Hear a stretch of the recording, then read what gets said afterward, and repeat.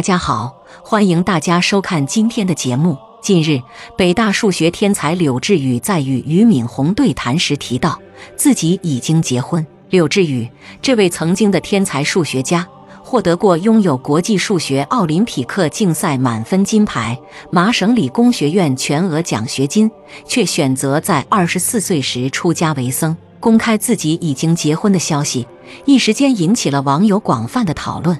那这位天才是如何一步步走入佛门，又是为何还俗的呢？今天，小编就带大家一起走进这位即是数学天才，又是佛教弟子的人生吧。二零一零年，一位北大的学子宣布出家为僧，消息传出后，震惊了全中国。北大学子出家就已经够劲爆了，更让人震惊的是，他还是个数学天才。早在上高二时，他就夺得了2005年国际数学奥林匹克循环赛的金牌。一年后，他加入了国家队，又夺得了国际数学奥林匹克竞赛的金牌。高中老师盛赞他是领军全国的顶尖人才。随后，他被保送到了北大的数学系。进入大学后，他依然一骑绝尘，碾压群英，名扬海内外数学界。2010年临近毕业时，美国麻省理工大学向他伸出橄榄枝，给予他一年七万美元的全额奖学金。别说是中国人了，就是美国大学生毕业后，也极少有人能够一年挣七万美元。麻省理工为了争取他，堪称下足了血本，如同普天下所有的父母一样。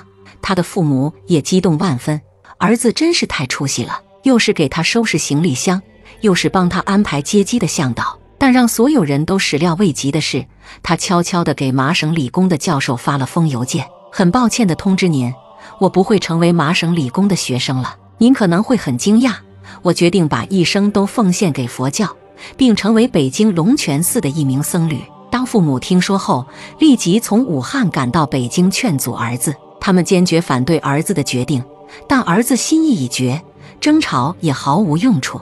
二老深感无助和疲惫。母亲更因此病了一场。另一边，麻省理工的教授被他的行为感动，以激赏的口吻回复道：“这是一个人一生中最重要的时刻，认清自己的道路。”于是，这名天才少年义无反顾地拜入了北京龙泉寺，把无数人惊得目瞪口呆。柳智宇出生于湖北省武汉市，从小就显得与众不同，也许是太过聪明。他在上幼儿园时，竟然就思考起了人生。当别的小朋友都高高兴兴地捉蚱蜢时，他总是保持距离，独自转悠。每当夕阳西下时，他无心欣赏风景，而是感觉自己被空虚包围。一下午又过去了，在我的生命中留下些什么呢？一个幼儿园的小朋友想这些大人都搞不懂的问题，自然感到乏味。有时候他会喊没意思，父母都没在意。奶奶更是打趣他什么有意思。他的爸爸是物理老师，妈妈是工程师，都对儿子寄予厚望。深感世俗生活平庸的他，四年级的时候参加了数学培优班，从此沉浸在数学的世界里。为了考出好成绩，得到老师的表扬，他不看电视，不打游戏，很少交朋友，甚至在学校组织看电影时做卷子。他也如父母期待的那样。成为了别人家的孩子，在数学方面更是备受瞩目。只是体质有点差，体育成绩不好。体育中考的时候，老师特意暗示他无需担心。结果成绩下来时，他竟然考了满分。由于感觉丧失了公平，对不起其他同学，他想要举报自己。父母听后满脸的惊讶和恐惧。后来他还是偷偷写了封匿名信举报自己，再加上其他家长的举报。涉事的考官被处分，他猛然发现自己和父母产生了分歧。他们所关心的是我的前途会不会受影响，而我所关心的是一条心灵的出路。接下来的另一件事更让他对人生产生了怀疑。由于在数学上天赋异禀，他在高三时入选了国家集训队，但日复一日的机械训练让他的眼睛出现了严重问题，先是发涩和酸胀。后来更能看到许多奇怪的图像和色彩。昔日并肩作战的朋友，一个个在残酷的筛选机制中淘汰出局，陷入孤独中的柳智宇愈发感觉不到数学的乐趣。这么天天做题究竟是为了什么呢？他于是对校长说：“我个人不需要这块金牌，而你们一附中需要这块金牌。校长听后大惊，赶紧联系数学教练。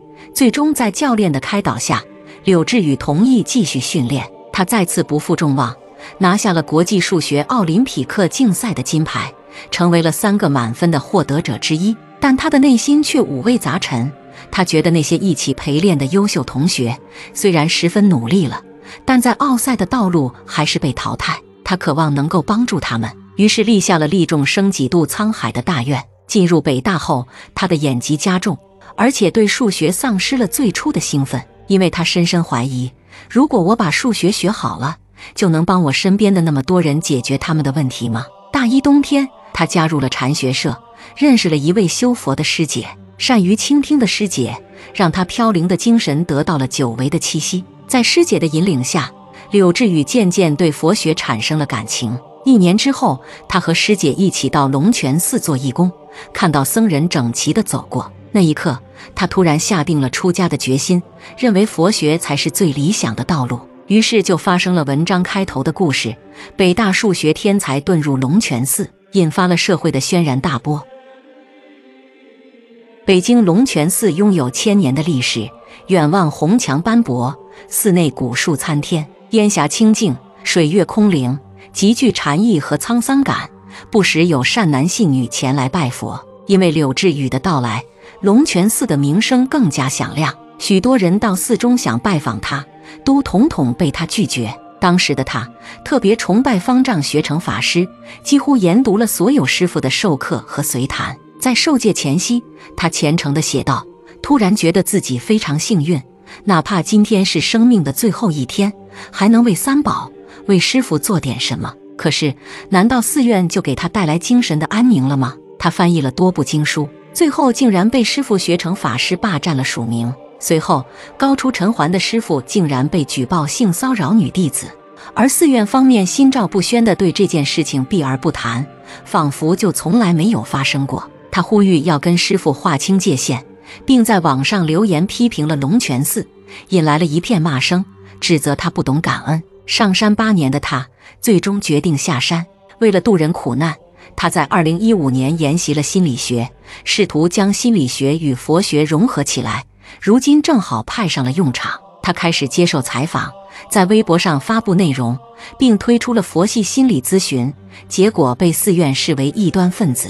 他的佛系心理咨询颇受欢迎，有不少人发出邀约。如今直播爆火，他也开始做起了直播卖课。近日，柳智宇在俞敏洪直播间宣传新书《人生每一步都算数》时，还提到自己已经结婚了。对于他来说，无论出家或是还俗，在佛门还是在家，都是一种不同生活方式的选择。恋爱也是一种修行。关于柳智宇出家。历来有不同的见解，有些人直接指出这是北大的严重失误，反映了中国高等教育的悲哀。中国不缺少修为高深的僧人，缺的是亚里士多德、牛顿这样的科学巨人。高等学府是培养国家栋梁的地方，是为了让你在入世后有一番作为，而不是让你消极避世，最终跑到寺院出家。但也有人认为，柳智宇的行为是在追求思想的觉悟。简直是对社会的一种拷问。在这个物欲横流的社会里，多数人都在追名逐利，极少有人去关注人生的思想和意义。出家是个体对于生命的探索，与其他东西统统无关。柳智宇挣脱了俗世的各种束缚，不该用功利主义去评价他。大浪滔滔，月明皎皎，古往今来，是非功过总是难以评说。即使天上有神仙，也无法左右区区凡人的意志。其实，北京龙泉寺可谓高僧云集。例如，贤威法师是中科院生物物理研究所博士，贤启法师是清华大学核能和热能物理博士，禅兴法师是清华大学流体力学博士，贤庆法师是北京大学哲学系研究生。这些智力超群的人，从小就在学业一帆风顺，让别人可望而不可及。在我们的教育体制下，能上清北的学霸。就披上了成功者的光环，但就把成绩抛开，他们恐怕也是普通人，也会有面对社会的迷茫困惑。于是，他们想找到解决的办法，找个世外桃源，规避风雨，得到心灵的解脱。但是他们真的就可以超脱了吗？其实有人的地方就有江湖，如今社会恐怕也很难有真正的净土了。在龙泉寺的柳智宇看到佛门的是非时，才真正明白理想与现实的差距。八年后，他最终还是归于尘世，也要为以后的生存奔波了。如今，整个社会快节奏的高速发展，每个人都被裹挟其中，无一幸免。每个人心里都要受到各种各样的冲击和诱惑。教育的本质在于提升自己的认识，在外界与自己的心灵之间找到一个平衡点，既能面对现实的残酷，又能实现自己的价值。而我们教育恰恰忽视了这点。谁都要经历人生的磨砺，这与智商和分数无关。好了，今天的内容就和大家分享到这了，那我们下期节目再见。